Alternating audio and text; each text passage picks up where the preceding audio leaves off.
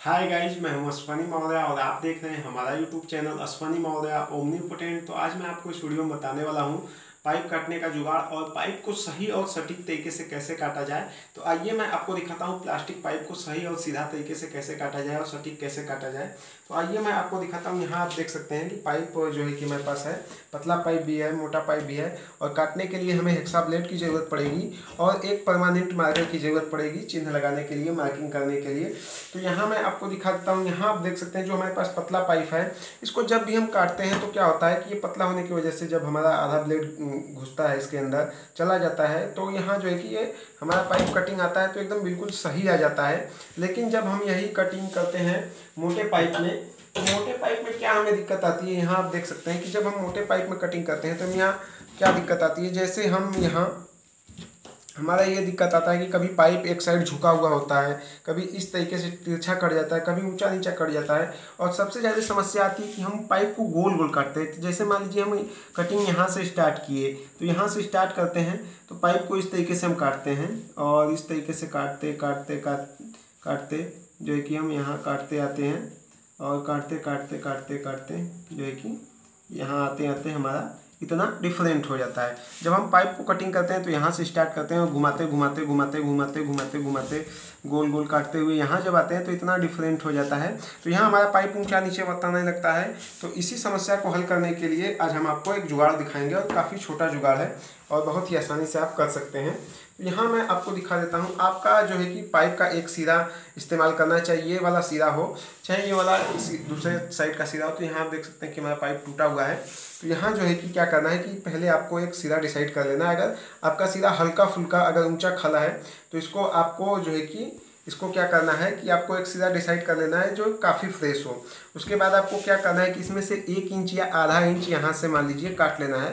तो यहाँ हम जो है कि इसका एक टुकड़ा काटे हुए हैं। तो यहाँ आप देख सकते हैं कि हमारा एक सीधा फ्रेश है और यहाँ इसका एक टुकड़ा हम काटे हुए हैं। काटने के बाद आपको इस तरीके से भी काट देना है यहाँ, जैसे कि हमने इसको काट दिया है। तो यहाँ आप देख सकते हैं इस साइड जो है कि हमारा भी ये वाला फ्रेश नहीं है। यहाँ आप देख सकते हैं ऊँचा खला है। और ये जो है कि आप देख सकते हैं किस तरीके से है।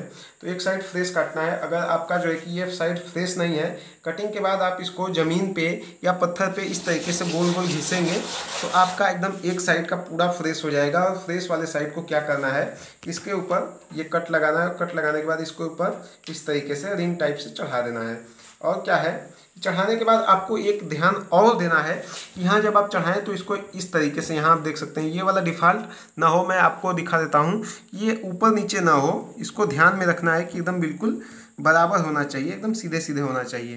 तो यहाँ जो है कि इसके ध्यान में रखते हुए इसको जो है कि यहाँ जो है कि अब चिन्ह लगाना है। जैसे आपको यहाँ कटिंग करनी हो, चाहे जितना दूरी पे कटिंग करना हो, एक इंच दो इंच दस इंच चाहे एक पीस काटना हो, दो पीस काटना हो, चार पीस काटना हो छः पीस काटना हो, दस पीस काटना हो, जितना भी पीस काटना है तो यहाँ आपको ध्यान देना है किस तरीके से रिंग को चढ़ाना है और रिंग को चढ़ाने के बाद जो है कि आपको यहाँ से चिन्ह लगाना है।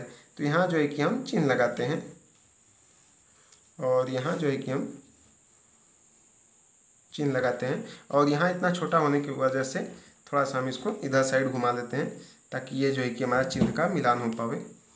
तो यहाँ जो है कि हम चिन्ह लगा चुके हैं और यहाँ आपको मैं दिखा देता हूँ, ये जो हमने चिन्ह लगाया है, ये जो है कि बिल्कुल गोल है।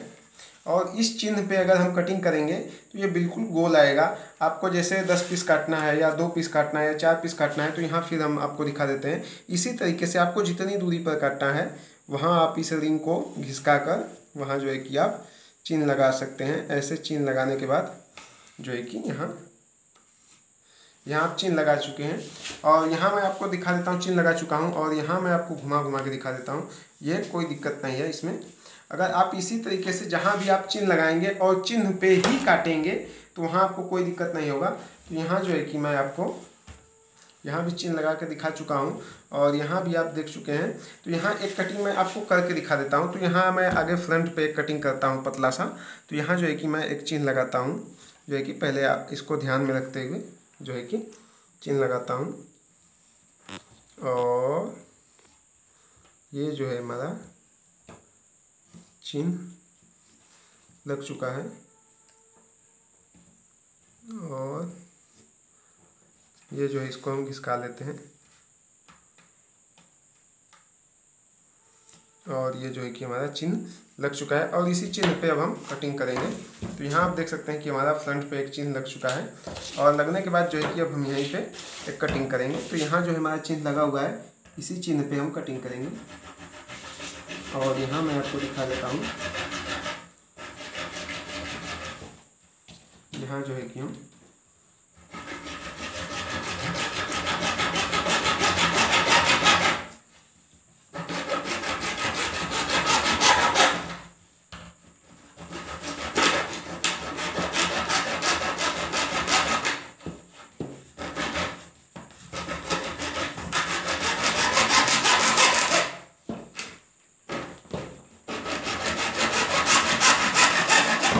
यहाँ आप देख सकते हैं। जहाँ हम चिन्ह लगाए थे यहाँ यहाँ आप देख सकते हैं। चिन्ह पे हमने कटिंग किया है और पाइप बिल्कुल गोल फ्रेश आया हुआ है। और यहाँ आप देख सकते हैं कहीं भी ऊँचा नीचा नहीं हुआ है और टेढ़ा अभी नहीं हुआ है। तो आप इसी तरीके से आप रिंग एक बार बना लेंगे। रिंग बनाने के बाद आप उसी साइज़ के पाइप को, जैसे इस पाइप का हमने रिंग बनाया हुआ है, जैसे इसको भी आप रिंग बना सकते हैं। इसको एक साइड फ्रेश करके और इसको आप जब चढ़ाएँगे इस पर और चढ़ाने के बाद आपको ये ध्यान देना होगा कि ये इसका जो दोनों आमने सामने का सिरा है, फ्रेश होना चाहिए और फ्रेश के साथ साथ आप इसको जब यहाँ से मार्किंग करेंगे, जैसे मान लीजिए ये तो अभी टेढ़ा मेढ़ा है, लेकिन मैं आपको बता देता हूँ, यहाँ से जब आप मार्किंग इस तरीके से करेंगे तो जो है कि इस तरीके से मार्किंग करने के बाद जो है कि आप जब कटिंग करेंगे तो एकदम आपका पाइप बिल्कुल सही और सटीक तरीके से आएगा। तो इस तरीके से आप किसी भी प्लास्टिक पाइप को सही और सटीक तरीके से काट सकते हैं और बिल्कुल बराबर काट सकते हैं। आपका टेढ़ा मेढ़ा नहीं हो सकता है और इसी पाइप से रिंग बनाना है और रिंग बनाने की विधि मैंने आपको बता दी है कि यहाँ जो है कि आगे से आधा इंची एक इंच कटिंग कर लेना है और रिंग बनाने के लिए इसको ज़मीन पर घिस के तैयार करना है और सीधे वाले भाग को आगे की ओर जिधर आपको चिन्ह लगाना है, उस टाइप से आपको इधर घुसा लेना है। घुसाने के बाद जो है कि आपको यहाँ जो है कि इसको देख लेना है कि ये बराबर होना चाहिए, फिर चिन्ह लगाना है और चिन्ह लगाने के बाद चिन्ह पे ही आपको कटिंग करनी है। तो इस तरीके से आप पाइप को बहुत ही आसानी से काट सकते हैं फ्रेश तरीके से काट सकते हैं। तो अगर आप हमारा यह वीडियो देख रहे हैं तो लाइक शेयर सब्सक्राइब करना ना भूलें। अभी तक आपने मेरे चैनल अश्वनी मौर्य ओमनी को सब्सक्राइब नहीं किया है सब्सक्राइब करें वीडियो को एंड तक देखने के लिए। धन्यवाद।